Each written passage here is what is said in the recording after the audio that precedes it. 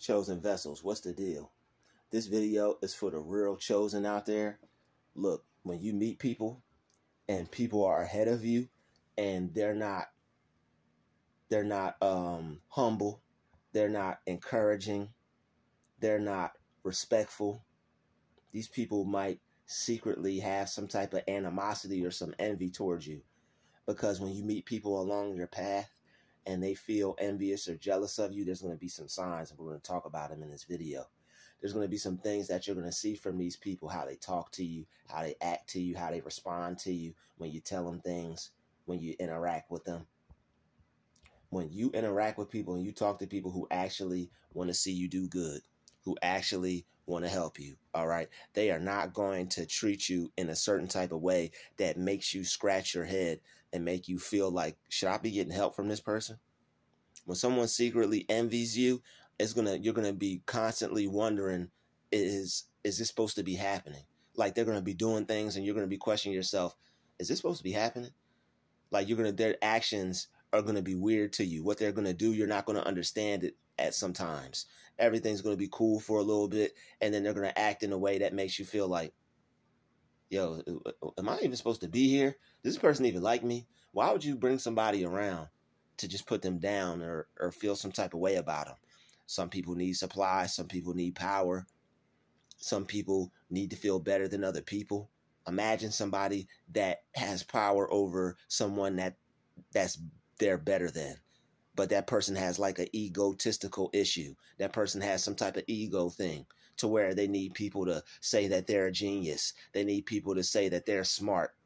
People, true people who are smart don't need anybody to tell them they're smart. They just go be smart, use their smarts, profit off their smarts, benefit other people's lives off their intelligence. People who need somebody to be like, oh, tell me I'm smart. Watch out for those people. Those people are bat stuff crazy. Okay, mm, they need they need that type of they they um they fiend for your recognition and your acknowledgement. Okay, people like that. You got to be careful for people like that. Try to avoid getting help from people like that because they're going to try to make you kiss their behind all the way.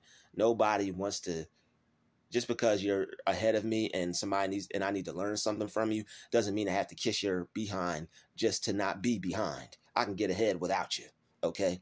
And we don't kiss no behind over here. We don't gotta kiss your butt just to get some information, just to get ahead. We uh we could you could do research on your own. You can go find somebody else and pay them to help you. Find you another um person that wants to help you, okay, that really wants to help you. All right. And like when people are taking shots at you, when you're paying them, when you're getting help from them, when you're getting their service, that person don't have no respect for you. Okay, that person is envious of you. That person is disrespecting you. That person is uh that person doesn't see you on their same level. So they're to disrespect you. They're to take shots at you. They're to put you down. But if that's the case, why would you take my business. You see what type of person that you people that you could possibly dealing with. Don't deal with people right, and don't do business with people who are envious of you and who are jealous of you and will put you down. Envious and jealous people are sneaky, tricky, and conniving people. They'll act like they're your friend for a little bit. They'll act like they're cool with you. All the while, they feel some type of way about you, and that's okay. But you have to keep it Uh, you have to keep it away from you from a distance because if somebody feels that way from a distance when they're not near you, that's cool. You could care less, and you're like, okay, whatever. It doesn't harm me. But when you're when you're doing business with people, when you work with people like that, when you, you have friends like that, or you're around people like that, it's not good for you. It's not good for your spirit. It's not good for your your self image about yourself. When you when you put yourself around people like that, you have to check you.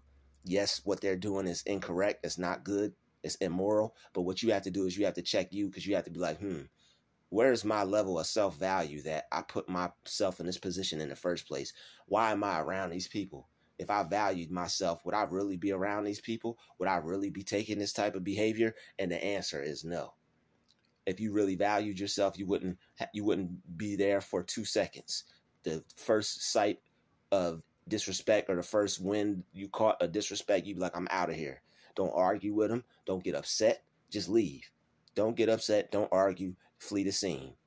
Okay, they just committed a crime against you. Flee the scene.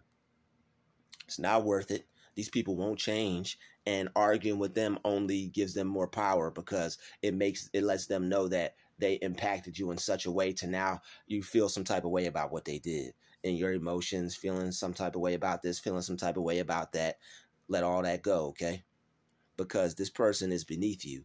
This person tried to this person uh is beneath you. They disrespected you, tried to be rude, said all types of ill, sneaky stuff and think you couldn't tell. Like they'll sneak dish you and take subliminals at you right in your face, right while you're, you know, right, right in your face. And they think you can't tell, but I guess they think you need them so bad that you can't go to somebody else or you can't find another person but don't feel you need them that bad. That's making that person God in your life. You'll never need anyone.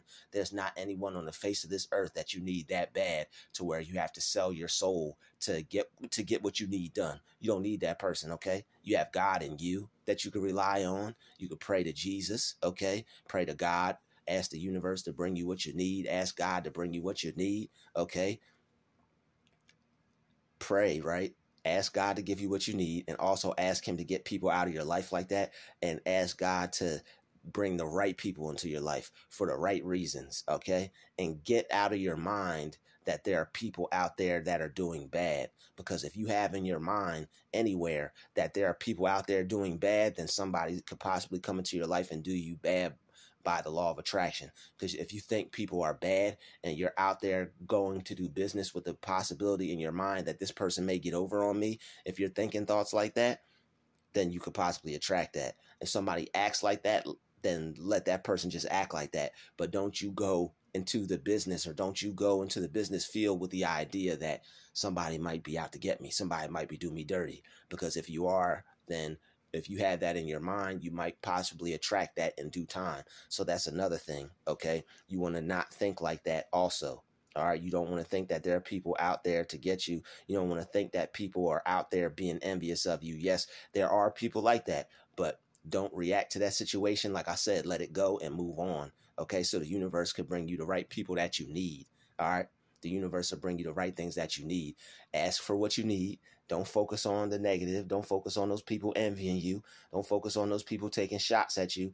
This is just to make you aware so that you know, like, oh, okay, this is somebody that is going to possibly burn me down the road because I could tell they're a little envious of me. I could see they're a little jealous of me, and I could tell this person really don't rock with me like that. So if we if we ended up doing anything like business wise, or if I tried to make anything happen with this person, or get in a relationship with a person like that, or be friends with a person like that, or do something with a person like that, it probably wouldn't work out.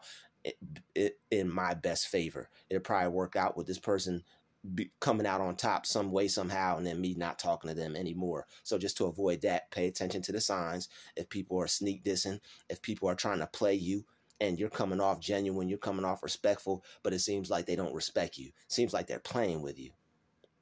Don't deal with people like that. The first sign that they're playing with you they're dead to you. Cut them off. Leave them alone. They don't exist no more. Because you can't allow people to keep playing with you. Don't allow people to keep playing with you and don't deal with people who play with you. All right. And that way you'll have a peaceful life. You'll have a peaceful day. You won't have no hardly, hardly next to no stress. And ask God every day. This is what we have to do. Ask God to bring the right people in our life for the right reasons. So that way we'll attract people that aren't just coming around for a season.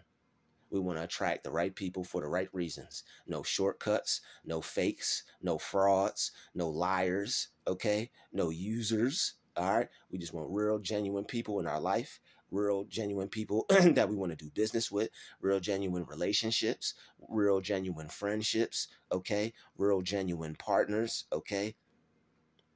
But that means we also have to be genuine as well. And we have to be aware that there are real, genuine people out there. And also, we have to get the idea of people trying to do us dirt. That's a whole nother video right there. But we have to get the idea of people doing us dirt people doing us dirty in our mind.